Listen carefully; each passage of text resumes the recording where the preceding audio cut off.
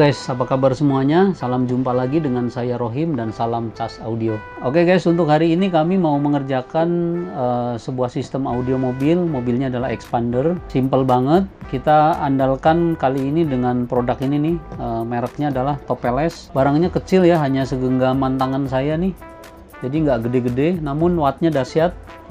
Kita di video kemarin sudah ngasih reviewnya di mobil R3 digeber dengan channel 5 dengan mengangkat subwoofer solo beric L5 double coil itu bener-bener kenceng. Untuk yang mau nonton videonya ada di video ini nih ada di sini Nah untuk kali ini kita mau pasangkan dengan sistem 2 main by M aktif yaitu channel 12 Twitter, channel 34 mid bass depan, channel 5 nya langsung subwoofer, subwoofernya dengan ukuran kecil 8 in merek Audio yaitu produk lama. Nah untuk sistem yang kita pasangkan hanya menggunakan speaker 2 uh, eh, merek Flock. Nah kita hanya sedikit perlihatkan lagi nih produknya seperti ini dengan RCA gold plate lalu ada channel 5 nya langsung di sini dan di sini ada bagian power supply dan fuse-nya.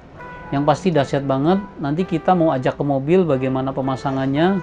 Yang pasti ini ada di bawah bangku karena biar nggak ribet-ribet. Yang paling menarik adalah suaranya guys. Selain dengerin suaranya nanti kita akan kasih tutorial hasil dari tuningan mobil ini seperti apa. Oke kita sekarang langsung ajak ke mobil aja guys. Ayo ikuti saya.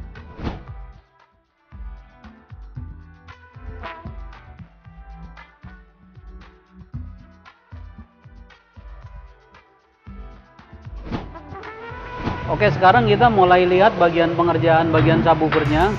Pengerjaannya sebetulnya sama seperti biasa. Kita gunakan bahan dasar kayu ada campur fiber dan juga uh, finishingnya dengan dempul.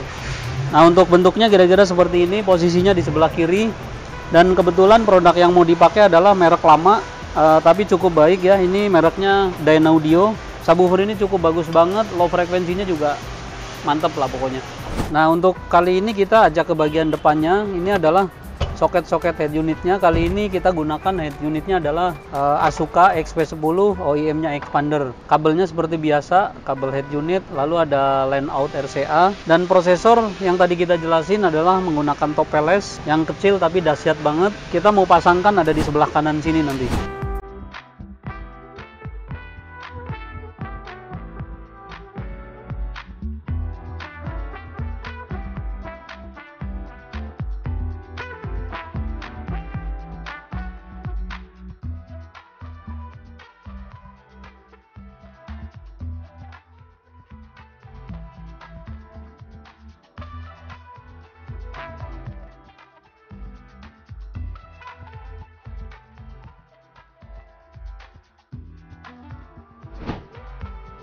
Oke okay guys, sekarang saya sudah di mobil expander ini. Yang kita mau tuning adalah prosesornya Topeles, di mana prosesor ini baru pernah masang di mobil expander ini. Untuk speakernya menggunakan Tue dengan Flux seri Neo, dipasangkan pada posisi pilar. Door trimnya juga di posisi standar, tidak ada perubahan bentuk dan tempatnya. Sistem ini hanya menggunakan head unit merek Asuka, serinya adalah XP10, OEM-nya expander. Nanti kita jelasin juga head unitnya cakep dan suaranya juga bagus dan fiturnya sudah berbasis Android. Paling unggulnya adalah di Topeles ini. Pertama wattnya juga besar. Kali ini mau benar-benar dijadikan buat sistem sound quality-nya. Oke, kita langsung ke cara setting. Pertama kita mau kasih denger dulu karena ini saya mute ya, saya buka nih. Ini adalah Twitter kanan kiri dan ini adalah mid bass bawah. Dan ini adalah sub. Nah, jadi pada sistem ini kita gunakan sistem aktif dua channel untuk Twitter dan dua channel lagi mid bass lalu subwoofer. Untuk speaker belakang tetap kita menggunakan langsung dari head unit dengan cara pakai divider. Apabila kita setir ingin panggung yang baik kita posisikan pada front. Jika ingin dibagi ke belakang karena ada penumpang kita akan ambil fadernya pada posisi tengah. Jadi tetap pemakaiannya fleksibel. Nah ini tadi udah saya kasih bunyi nih saya ulang Oke. Okay. Itu seperti itu. Lalu kita akan lihat ini sudah terkoneksi. Di sini ada EQ, ada face, ada fase, crossover cutting, time element, halaman untuk save ke handphone dan untuk save ke uh, perangkatnya. Nah, pertama saya perlihatkan di sini sambil kita bunyikan dulu ya. Nah, ini bunyi saya pelankan uh, ini adalah channel mute. Saya nyalakan sebelah kiri. Intinya sudah saya setel. Saya mau kasih lihat grafiknya nih. Grafik EQ nya begitu kita buka pada setiap channel itu memiliki EQ 31 band. Nah hasilnya seperti ini. Kalau lihat tampilan EQ nya adalah acak-acakan ya kayak gambar gergaji begitu. Tuh seperti itu. Dari 20 Hz paling rendah sampai ke frekuensi 20 kHz nah dari hasil ini nanti bagian Twitter dan Midbus setelah digabung kita mau kasih lihat pada layar monitor atau iPad yang direspon oleh mikrofon saya ini. Nah, jadi jangan lihat grafik di sini tapi lihatnya adalah setelah selesai. Nah, itu sebelah kiri bagian Twitter. Lalu kita lihat lagi nih. Ini adalah kiri dan ini kanan. Nah, kanannya hasilnya seperti ini. Jadi sedikit mirip tapi berbeda. Oke, berikutnya kita kasih lihat adalah rear L atau mid bass kiri. Nah hasilnya seperti ini. Sama frekuensi sama grafiknya 20 Hz ke 20 kilo. Ya lalu sebelah kanan juga sama tapi grafiknya hasilnya berbeda. Nah ini adalah uh, equalizernya. Dan untuk fasenya kalau kita lihat di sini yang saya balik hanya subwoofer. Karena tadi dicari-cari mana yang dicocokkan dilihat di RTA lalu kita dengarkan dan hasilnya subwoofernya fasenya dibalik. Nah, untuk gain tentunya beda-beda. Pada step Twitter gainnya minus 1 lalu mid bass uh, plus 6 dB. Ini untuk gain dan subwoofernya plus 2 oke kita keluar lagi ke crossover. Cutting frekuensinya kali ini untuk Twitter kita samakan kanan dan kiri yaitu high pass 3000 Hz slope-nya adalah 12 dB. Nah kanannya sama dan untuk mid bass atau rear, rear left kita cutting band pass slope-nya 12 dB high pass-nya 60 Hz dan low pass-nya 2000 Hz ini sudah ideal dan sudah kita ukur. Begitu juga sebelah kanan sama. Begitu juga sebelah kanannya sama. Agak ke tretot ya. Dan untuk subwoofer kita cutting di 63 Hz dengan slope-nya 18 dB. Nah kurang lebih seperti itu hasilnya. Uh, time lemon saya kasih lihat. Untuk sebelah kiri kita delay 3 milisecond per detik. Sebelah kanannya adalah 3,988 jadi karena arahnya standar antara kanan dan kiri berhadapan dia tidak sampai 1 milisecond uh, selisihnya. Jadi 0,98 nah bagian mid bassnya juga sama. Ini 2225 lalu 3179 ya sebelah kanan. Untuk subwoofer pastinya di titik 0 oke ini kita kasih lihat secara sistem singkat karena terlalu lama untuk diperjelas satu persatu langsung aja kita kasih lihat hasil grafiknya. Nah ini dia hasil grafik secara total. Setelah kita EQ kanan kiri atas bawah lalu kita gabungkan dengan subwoofer hasilnya seperti ini. Jadi mid bass sub e, dominan lebih tinggi kita turunkan sedikit pada frekuensi mid low uh, mid high-nya agak turun sedikit lalu high frekuensinya cukup baik sekali. Nah, yang paling penting dalam grafik ini adalah hanya tuntunan tapi bagaimana memadukan frekuensi, cutting frekuensi dan menentukan EQ berdasarkan alat dan juga kita dengarkan dengan uh, pendengaran kita lalu kita pikirkan bahwa secara mata ideal dan didengarkan tidak ada yang over. Nah, dalam hal ini kita hanya membagi informasi mengenai top LS ini Sekali lagi mohon maaf jika ada yang merasa berselisih tentang cara setting. Ini adalah versi kami dan penjelasan dari kami. Buat Anda yang hobi atau kepengen belajar bareng, boleh tanya-tanya, boleh setting langsung atau buat pemakai tinggal datang bahwa prosesor ini sangat ideal, sangat baik dan tenaganya sangat maksimal. Nah, kita mau kasih dengar hasil suaranya.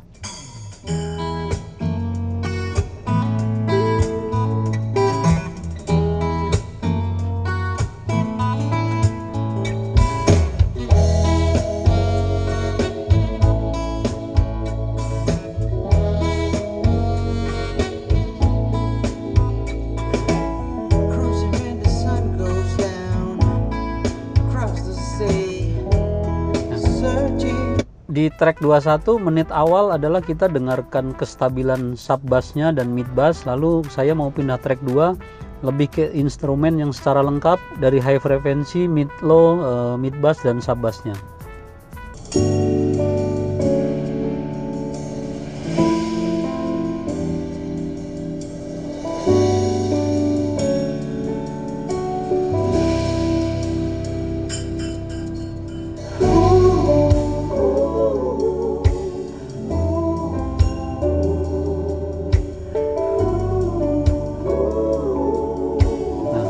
Ini juga sama di mid low dan subbassnya enak banget. Memang subwoofer ini uh, selain tenaganya ada suara alunannya itu bersih ya dibandingkan dengan prosesor-prosesor yang lainnya yang pernah kita pasang. Nih kita lanjutin. Rata semua dan penyanyinya fokusnya bagus nggak narik ke bawah sama sekali ini adalah lagu yang lebih slow. Kita mau kasih tes yaitu di track 26 yang lebih ngebit lagi. Ini benar-benar sub bassnya walaupun 8 inci karena prosesornya juga bagus benar-benar maksimal banget nih guys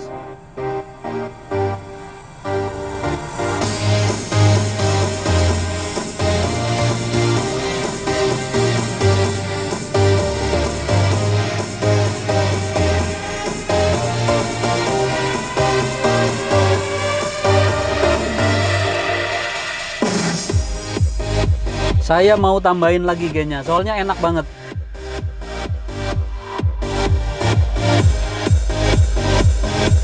Nah bagusnya ya pada lagu ini walaupun kita geber sampai volumenya hampir habis dia tidak clipping.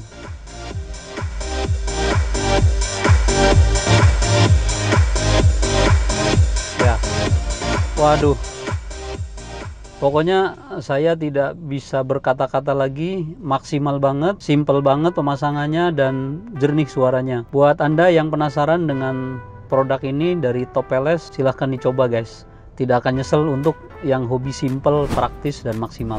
Jadi mobil ini sudah selesai, saya sudah sama pemiliknya namanya Pak Fauji. Kebetulan ini temen deket, udah langganan lama banget lah. Jadi udah berapa kali nyobain prosesor dan terakhir kalinya saya coba ini untuk mobil barunya ini kebetulan kan Mitsubishi Expander. Pak Fauji ini beliau adalah dari Mitsubishi jadi tahu banget tentang mobil ini. Hasil yang tadi kita pasang kira-kira saya minta komennya nih Pak Fauji puas atau enggak terus dari didengerin tadi kira-kira recommended apa enggak buat teman-teman? Sorry guys, jadi saya hari ini ditodong sama Pak Rohim untuk memberikan komen. Komen.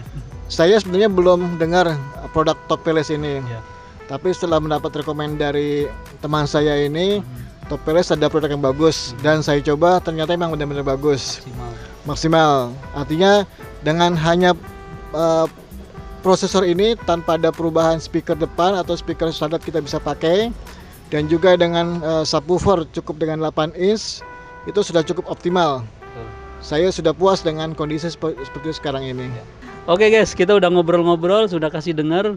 Intinya maksimal banget memang dan sekali lagi kita bukan kaleng-kaleng, ini adalah langsung testimoninya. Walaupun memang kita kenal, tapi kita harus fair ya. Apa apa yang ada kita sampaikan. Sekali lagi, thank you banyak buat anda yang belum subscribe channel YouTube kami selalu dukung karena dengan anda mendukung channel YouTube kami kami akan lebih semangat memberikan edukasi edukasi yang lebih bermanfaat apa yang saya bisa. Dan sekali lagi atas kekurangan kami penyampaian dan cara setting yang kurang sehati dengan teman-teman mohon maaf yang sebesar-besarnya karena itu adalah sangat manusiawi. Sekali lagi yang belum subscribe deskripsi ada di bawah ini. Dan buat Pak Wuji terima kasih banyak Pak sudah mendukung kami terus dari dulu dan mudah-mudahan ini benar-benar maksimal banget Pak. Thank you guys, terima kasih banyak. Gagai. Dadah. Kok gagai sih? Dadah.